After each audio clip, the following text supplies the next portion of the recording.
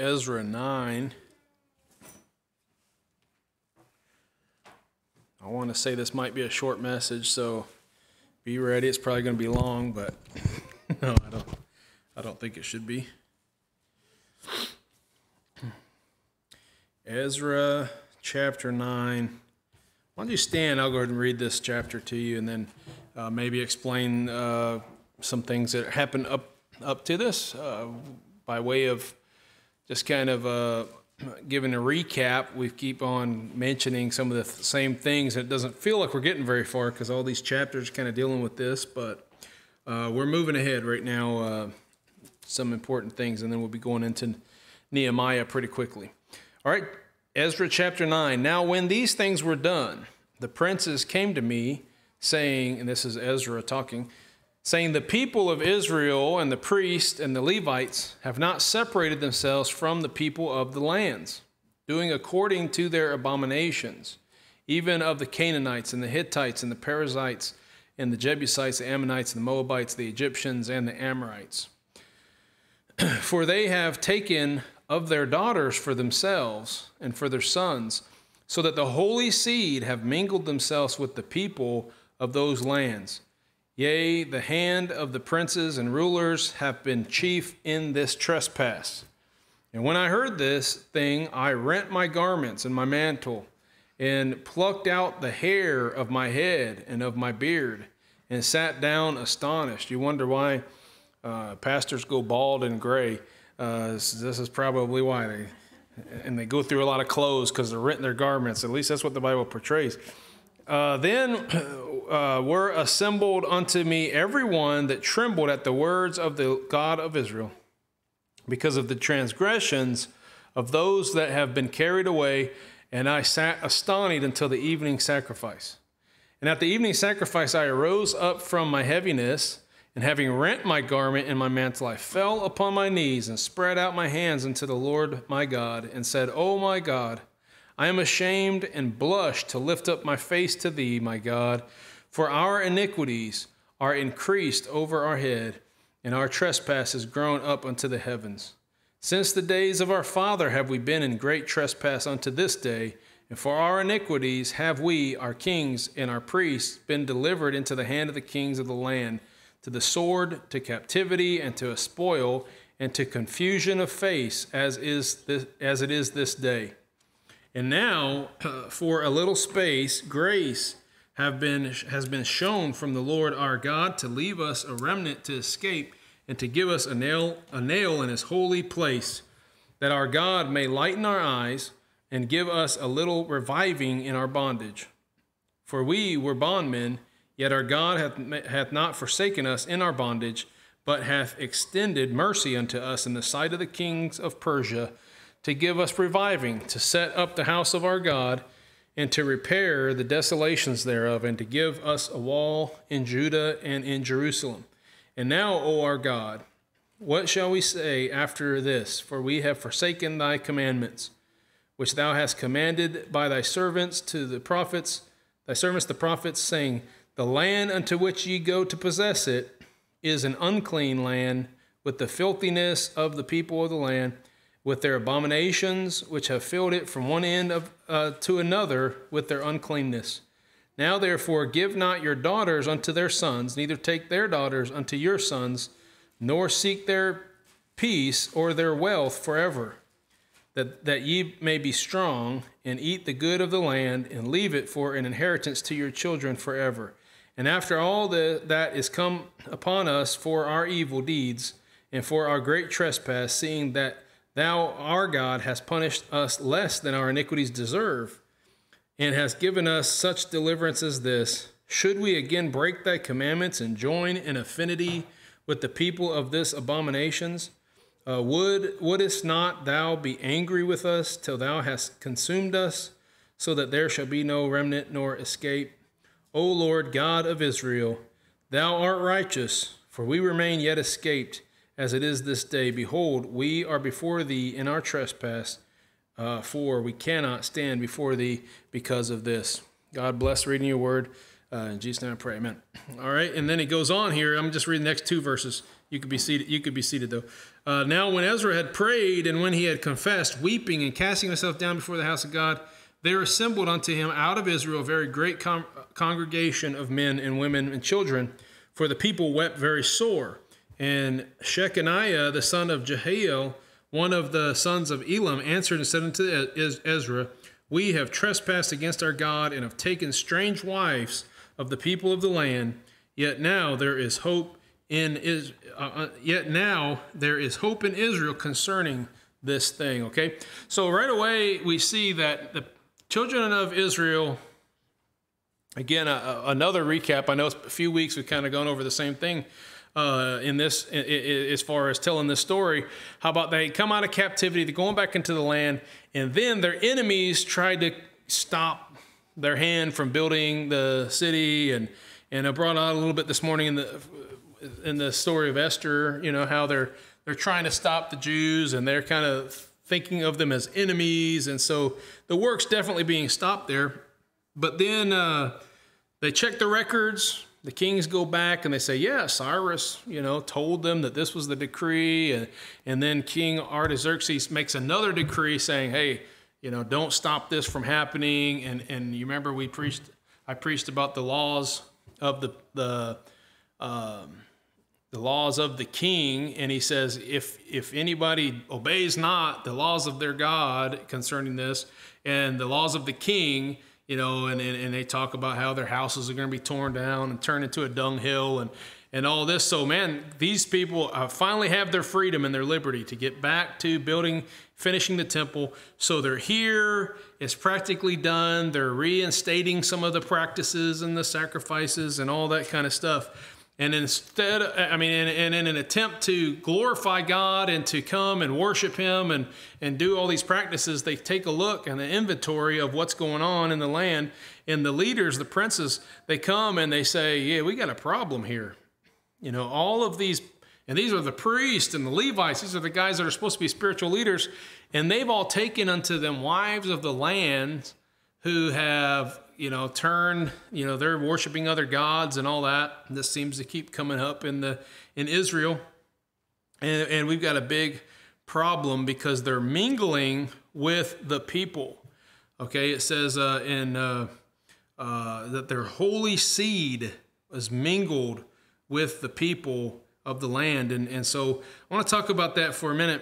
The children of Israel uh, have been told all throughout the law, you know, when they first left Egypt and they're wandering in the wilderness, they were told, don't go intermingle with the people of these lands. Now, uh, just like I said, uh, I can't remember if it was this morning or in Kansas City, but I, I was just I was just talking about how it's not it doesn't have to do with skin color. You know, it doesn't have to do with race or where you're from. It's not like God's telling us to be prejudiced or uh, you know, segregated. You know, that's not the issue. In fact, we see all throughout the Bible uh, people from one race becoming Jews and converting to them and being married and even being in the lineage of Christ. So that wasn't the issue. The issue was that these people in the lands that have these other beliefs and they're, they're still holding on to those and they have these wicked cultures and these wicked practices. But these people were marrying and intermingling and it wasn't even a big deal in their minds. But now that they're being called to holiness and back to worshiping God, Ezra gets this information and he rents his garment, as everybody seems to do when they're mad in the Bible, rips out his hair, you know, it gets really upset about this and mourns and prays and, and, and, and uh, tries to get the mind of God because he's saying, We have messed up, man, we've sinned. When are we going to learn? you know, all the way back to our fathers in the in Egypt. Basically, it just keeps on coming back to us not listening. Now, I'm not going to address it in this message. Probably be in the next message or maybe after that. Um, I don't necessarily, and I've, I think I've mentioned this before at the beginning of the series. I don't necessarily think what he's going to institute in regards to everybody putting away their wives and, uh, and, and getting them out. I don't think that was the answer. I don't think God told them to do that. But what they're doing is trying to make the best they can out of this bad situation. What are we going to do now? We've sinned. We've taken them in to be our wives, and and so we we want the favor of God, and so they decide to put them away. you know, send them back to their homes or whatever it is. I don't necessarily think that's right because we understand how the Bible teaches about divorce and and all that. You know, maybe it maybe there was other way, ways they could have handled it, but that's not the scope of this message to kind of uh, decide that or to debate that. But what we want to see here is that idea of the fact that they were intermingled with the world, uh, with the people of those lands, how God felt about that, what the problems were, and uh, and I want to talk about what that happens when God's people, what happens when God's people, the holy seed, if you will, going all the way back to the Garden of Eden and the promise about the the seed, the holy seed is mingled with the people. Okay, now when we go soul winning, a lot of times we'll meet people who claim to be born again. Uh, you know, and, and, you know, sometimes I believe, I mean, by their testimony, they got saved when they were a kid. They, you know, maybe they had a family member that was a pastor in some cases. But then they start describing their life now, the person that they got married to, who's not a Christian or like part of a false denom- a false religion or something like that. And so I've asked point blank sometimes, well, you guys must not talk much about spir- spiritual things then in the house. And they're like, no, we don't, because we don't want to fight and stuff like that. And I'm thinking, how could you, as a Christian, being saved, having the Holy Spirit within you, knowing that you're supposed to walk like the Bible says, engage in a relationship with somebody who doesn't even believe those things and then not even talk about it. It's not like they're trying to convert the person. They just, you know, hey, we fight whenever we talk about it. So we're going to just live in a divided household, you know. And, and, I suppose a lot of people are familiar with that, and maybe you know people, and maybe you got family members, or maybe uh, you know in some time in your life or another, it's happened to you where somebody's just not thinking about that, and they kind of fall in love with somebody or whatever the case. I was just talking about uh, in in Kansas City. I was talking about the Song of Solomon, and of course, it comes up how Solomon loved many strange wives, and they they directed his heart away from God to the point that, by the way, he even set up altars where they could sacrifice to all their gods. Now, it doesn't necessarily say that he did it, uh, but he set the altars up, so that's just as guilty. He took part in their evil deeds. And so it's a big problem, and, and I want to talk about some of the things um, that happen when we walk down that road. But first, let me give you two other examples in the Bible. Well, I already mentioned Solomon, so I'm just going to um, I'm just going to move on from that one. But go back to Genesis four. And so Solomon, we understand, was that way. God was very upset with him in 1 Kings 11 because uh, he loved many strange wives, and they took his heart away from following God wholeheartedly and it, we seem to indicate it, it, seems to indicate that in the end of his life he kind of got back to following the lord and the end of ecclesiastes seems to show that but how about genesis chapter 4 now again in genesis chapter 3 this is one chapter before this story we're going to read uh, this is where the famous prophecy is given that says, uh, I will put enmity, this is verse 15 of chapter 3, I will put enmity between thee and the woman. He's, talk, he's talking to Satan. He says, I'll put enmity between thee and the woman, and between thy seed and her seed. It shall bruise thy head, and thou shalt bruise his heel. Okay, now look at chapter 4, verse 26. Genesis chapter 4, verse 26. And to Seth, now Cain kills Abel, and now God's going to give Adam and Eve another son who is Seth. And it says, To Seth, uh, to him also there, were there was born a son, and he called his name Enos. Then began men to call upon the name of the Lord. So if you're following this out, Cain went his own direction, killed Abel. Now he's a castaway and he's roaming about a vagabond and, and uh, he's got mark upon him, uh, you know, to, to protect him. But anyway, and and now God is is dealing through Seth this godly line, this godly seed, if you will, which ultimately still and you know after Noah and the ark and everything still ends up being the line from which Abraham comes and then later David and then uh, Christ of course but what we see here is it's, it's, talking about Seth and his family and his lineage. It says they began to call upon the Lord. Okay, these are believers. These are whosoever shall call upon the name of the Lord shall be saved, the Bible says in the New Testament. Well, it's always been that way. It's always faith in the person that fears God, calls upon God. Uh, these people are saved. And so as you follow the lineage, you go uh, of this godly seed, you go one chapter forward into chapter four in verse 20, uh, I mean, uh, uh, chapter, two chapters, sorry, chapter 6. And it says, It came to pass when men began to multiply on the face of the earth, and daughters were born unto them, that the sons of God saw the daughters of men that they were fair, and they took them wives of all which they chose. Now, some people have come to this, this uh, conclusion I don't know how the original person that came up with this idea got there, but because it's usually taught, they've come up to the to this understanding that the sons of God here are reference to angels. Now I, I know where they get that, but uh, if you read the story, it doesn't make context that it, it, in the context it doesn't make sense that it could be talking about angels. But here it says that the sons of God. I think it's clear that these are talking about those that lineage of Seth. By the way, all of chapter five here is going through that line. And Seth lived 105 years and begat Enos, and uh, and Enos lived 90 years and begat Cainan, and and it just keeps on going on. Uh, and then Enoch walks with God, and he begat Methuselah, and all this goes up into the line of Noah. Okay, so this is a godly seed, the godly line lineage of Noah. And it says that the sons of God saw the daughters of men, right, scattered upon the face of the earth, and they took of them wives of which they chose. And the Lord said, My spirit shall not always strive with man, for that he also is flesh, yet his days shall be an hundred and twenty years. Okay, and I believe that's a reference to uh, 120 years before the flood is going to happen, which we find that being the case. Uh, also, could be that eventually his lifespan is not going to be greater than 120. I've heard it taught that way.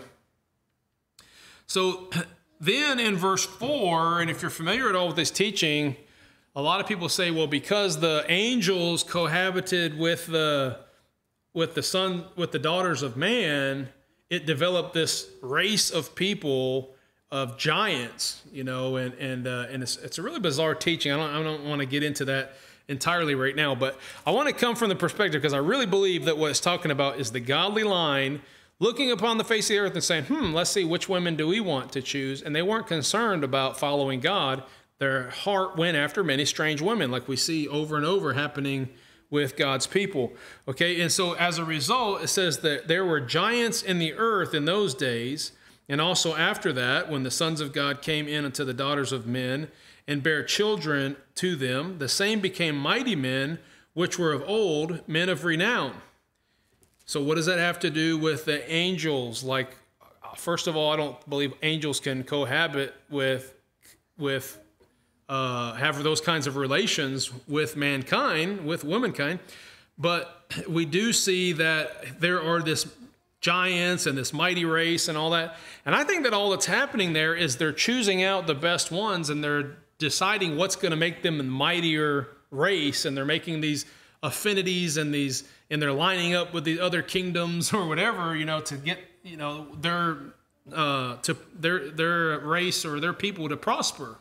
Okay, and so these are the mighty people that are coming up with this. I don't believe there's any supernatural. Hey, just because they're giants, like we could we could breed a race of giants pretty quickly, right? If we just chose our marriages and and put tall people with tall people and get the genetics to work that way. People do it with, of course, with other anim- with animals and stuff uh, all the time. Okay, so God saw the wickedness of man, verse 5, uh, was great in the earth, and that every imagination of the thoughts of his heart was only evil continually. And it repented the Lord that he had made man on the earth, and it grieved him at his heart. And the Lord said, I will destroy man whom I have created with, uh, from the face of the earth, both man and beast and creeping thing, and the fowls of the air, for it repenteth me that I have made them but Noah found grace in the eyes of the Lord. And again, Noah's sons, Shem, Ham, and Japheth. Uh, Shem ends up being the part of the lineage of Christ. And so God preserves that line. He preserves a remnant. But you see that even in that part of the Bible, early on, just first four chapters, we already have a case where God's people are intermingling with the lost people and it's causing all kinds of problems. And ultimately, God gets very upset at the wickedness that's going on and they're not turning to Him, they're not seeking Him, they're going about seeking these other gods and these other uh, beliefs. All right, so let me give you three things here that um, that happen as a result of the intermingling of the holy seed and the people, as Ezra puts it. Number one, this weakens the light of the gospel. Okay, when God's people intermingle with the world, it it weakens the light of the gospel. now think about how watered down Christianity is today. I mean, it means nothing if we knock on a door when we're soul winning and somebody says, Oh, yeah, I'm a Christian. It means nothing because we have no idea what they even mean by that. You know, we don't know if they're saved. We certainly don't know, even if they're saved, if they're actually living and letting their light shine and living for the Lord. We don't know that because just by them saying they're a Christian doesn't mean anything. Like they don't have anything to lose they could go to any number of churches that call themselves Christians that live however they want. I mean, go to the United Methodist Church and you'll find that they uh, there's like no light there, uh, you know, and and so uh, it's, it's uh, nowadays at least, and it's been just it's just incredible to think of what come what is is labeled as Christianity today. Listen to a lot of the Christian music, quote unquote Christian music and it's just like, how can you even recognize that from the world's music? There's no difference. Uh, the way Christians dress and the way that they conduct themselves. If you, as a Christian, stand up and say, hey, God's people ought to look different, they ought to come out from among them and be separate and not walk like that, they're going to say, well, you're just this. Uh, uh, legalistic. You know, you're you're like a Pharisee. You're not a real Christian, and they're calling good evil and evil good. Like this is what the Bible says is going to happen, and this is where we are today. And of course, it's not new just to our generation, but that's the reality.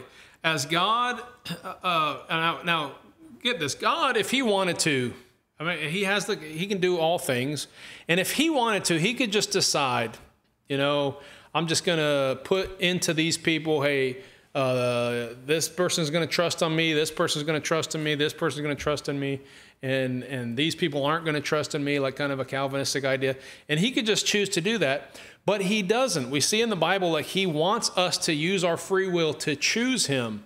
And yet, over and over, people reject him, and people that, that even once chose him start walking back in the ways of the world and all this stuff. And it makes sense why it would make him upset because we are supposed to be the light of the world. And we're supposed to be shining his light and, and spreading that to the world. And when we intermingle with the world and we began to look more like the world, what we're doing is weakening the light of the gospel. Okay, let's go to uh, John chapter 1. You're familiar with this uh, passage, but I'm going to read it to you anyway. John chapter 1.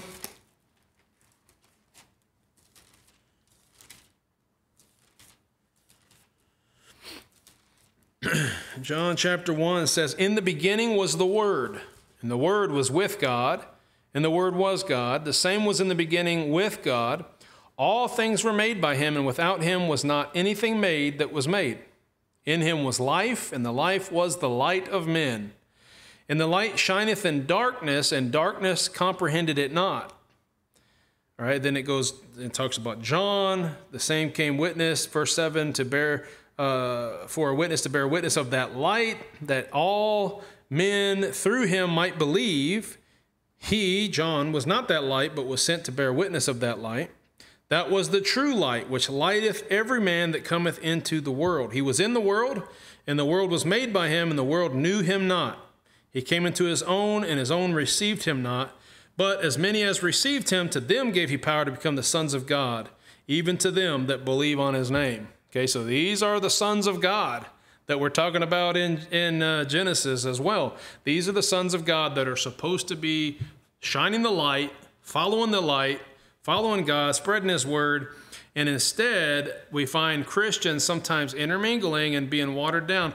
What did Jesus say in uh, Matthew 5? Uh, uh, I think that's I don't remember the right verse, but this exact verse, but he says a, a light. He says, "You are the light of the world," and a, and a light on a uh, on a hillside can't be. Uh, you know, you, you, I guess we got to go there. Let's see, Matthew five fourteen. Let's just go there so I don't butcher it too much. Matthew five. I know he talks about a candlestick and then he talks about a hillside. There's two different references there. Uh, Matthew chapter 5, 14. Ye are the light of the world. A city that is set on a hill cannot be hid.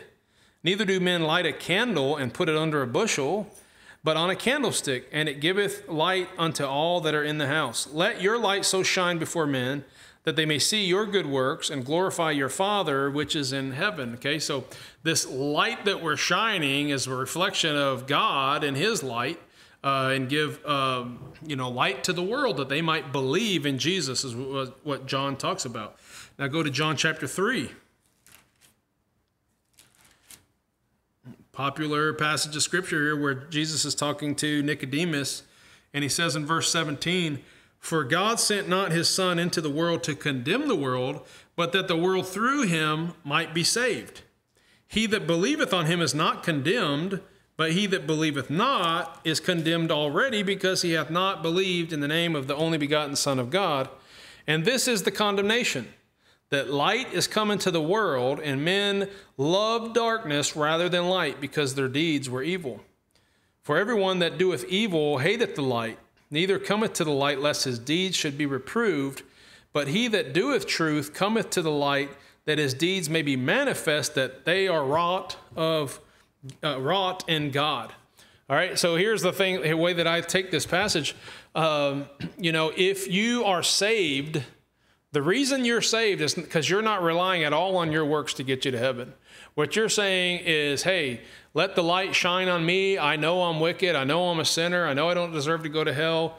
Uh, but the righteousness uh, is, is God's righteousness. What's getting me to heaven is God. I want that to be seen.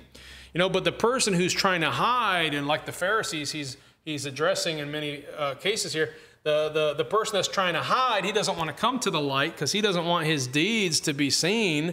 And he doesn't want to, uh, uh, you know, he wants to pretend like he's good and he's righteous and he's holy. But, you know, hey, if you're going to come to the light, you're going to be exposed, okay? It's not your light, it's his light that's going to be shining. But when people meet up with the world who's who, who's who likes to hide their sin and and all that, then then what we do is we're polluting, we're diluting that light. And here's the thing, the darkest you, you've you've heard this illustration.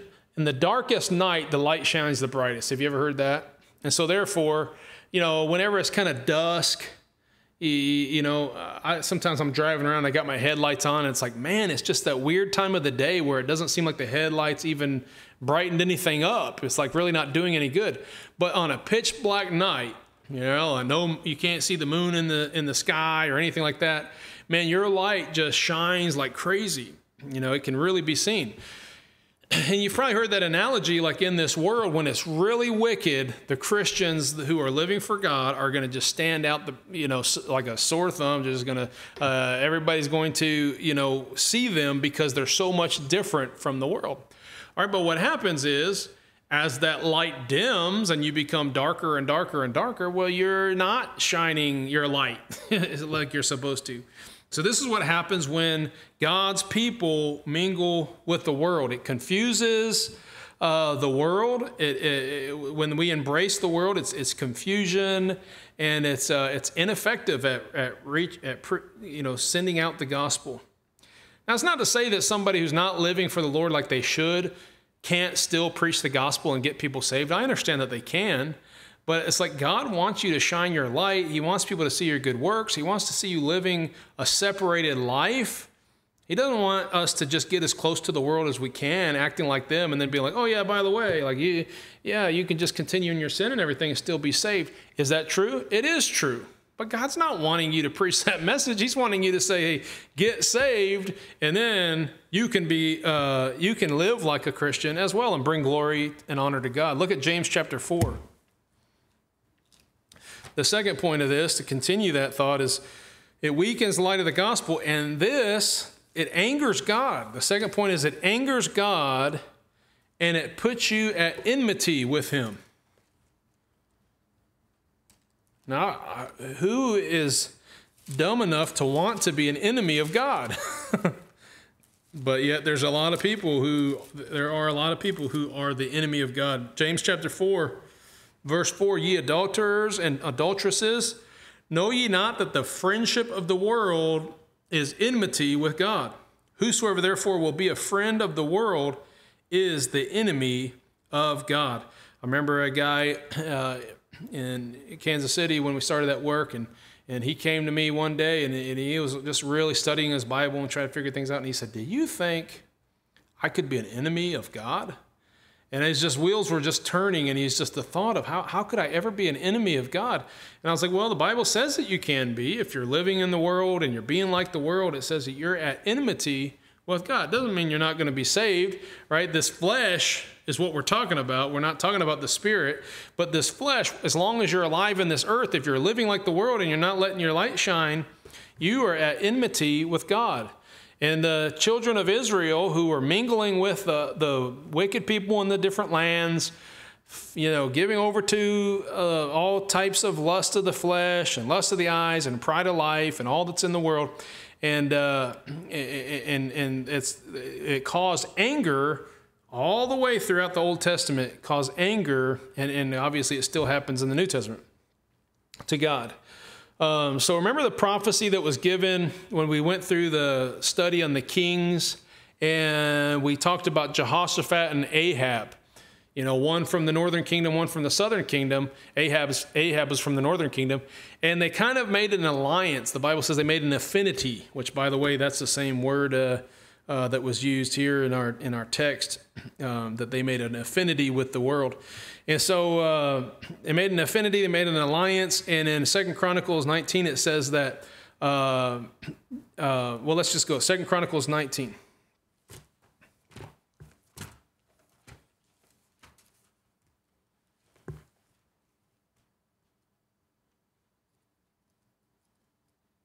really strong words here from a prophet who, from all we can see, Jehoshaphat seemed like a pretty decent guy.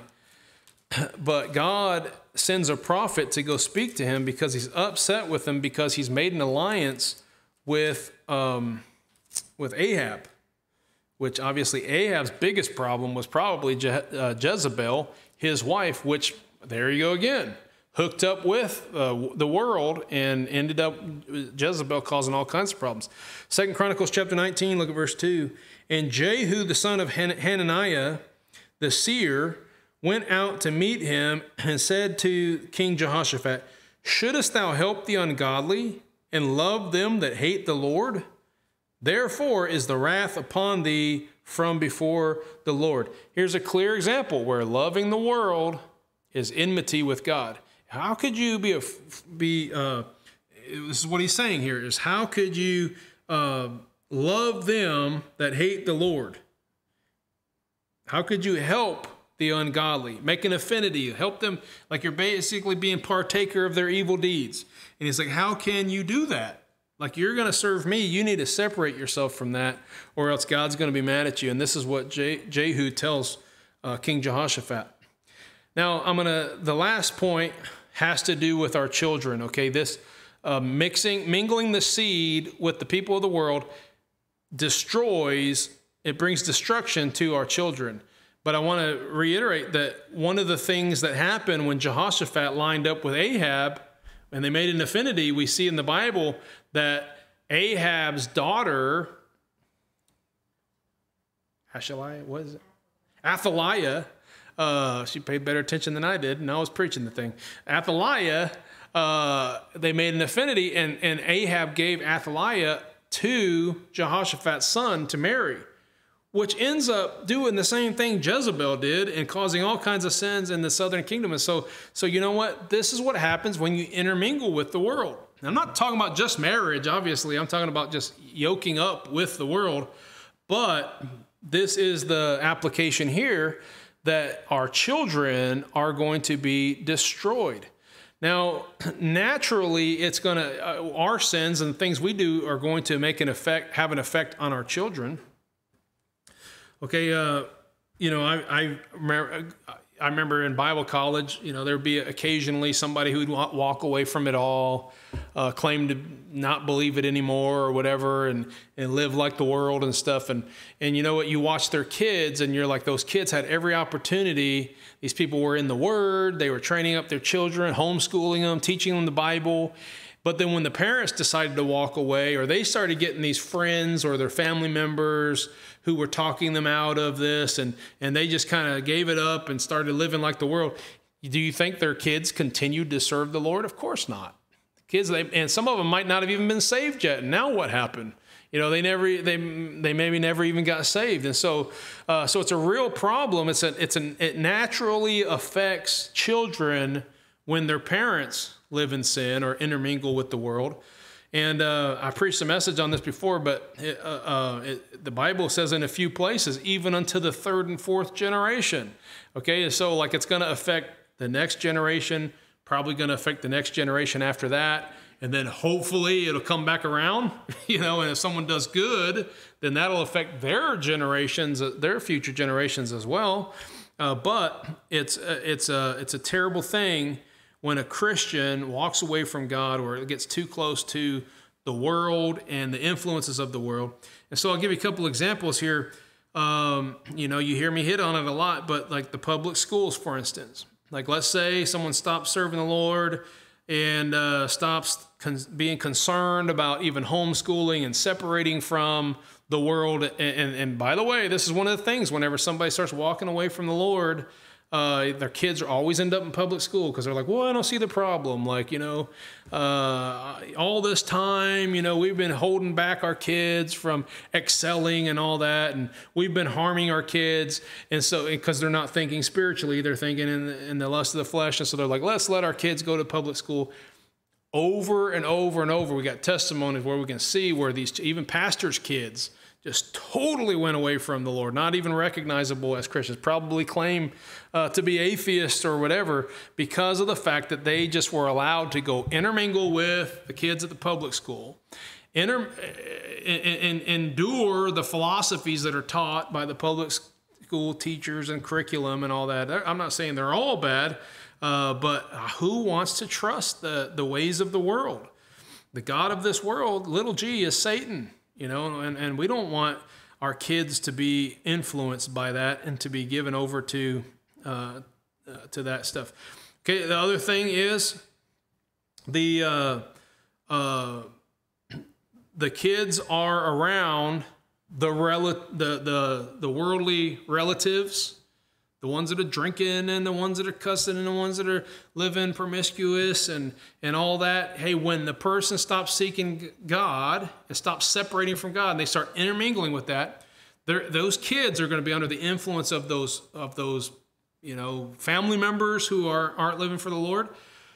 Those kids are going to be under the influence of friends that come over and party and all that stuff. Those kids pick all of that up and it just goes and it affects them and before you know it they're living like the world and they're destroyed and they don't know why.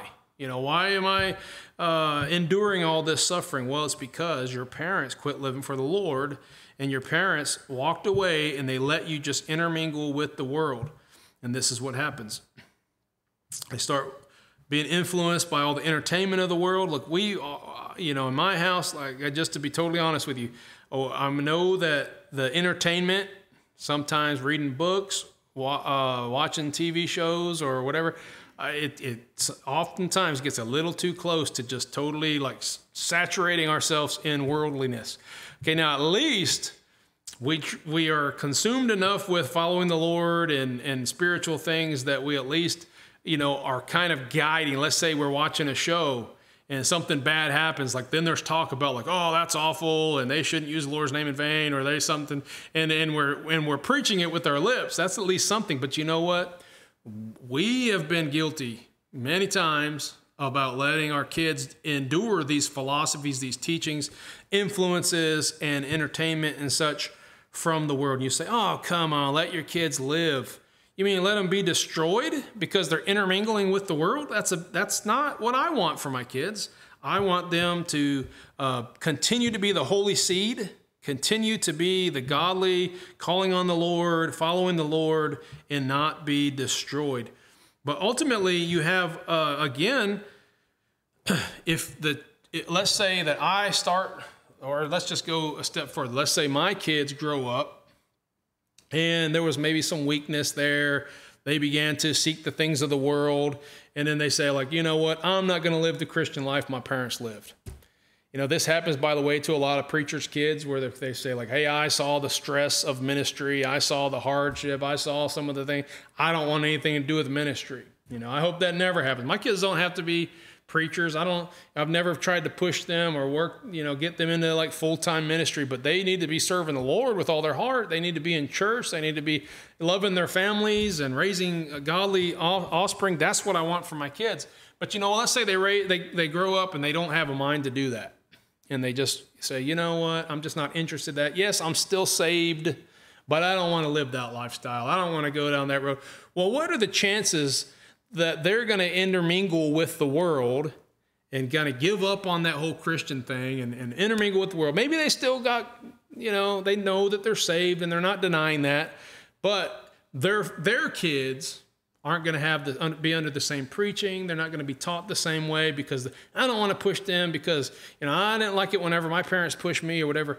So eventually, that gospel line is just going to be cut off, and there's going to be a generation who knows not the Lord because of the fact that you know wherever you can start with me or you can start with my kids decided to intermingle. That's the holy seed intermingling with the people of the lands. Okay, and it's going to weaken the light of the gospel.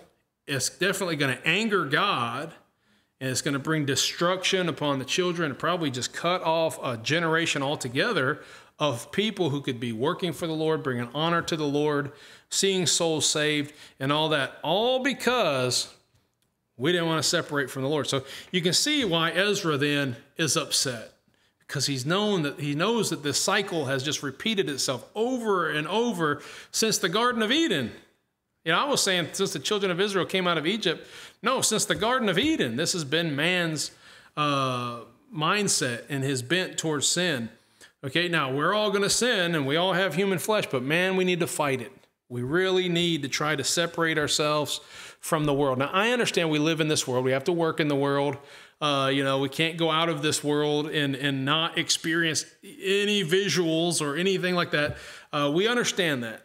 But what we can do is make sure the people we choose to be around and the people we fellowship with and the people we have over for dinner and all that kind of stuff are people that are going to help us serve the Lord and we're going to help them serve the Lord. And, uh, and we don't want to be intermingled with the people of this world. It's all throughout the Bible, and I've hit on it before, but here it is again in Ezekiel chapter 9. So uh, we need to be reminded of it once again. All right, let's go to the Lord in prayer. Lord, we thank you for uh, your word.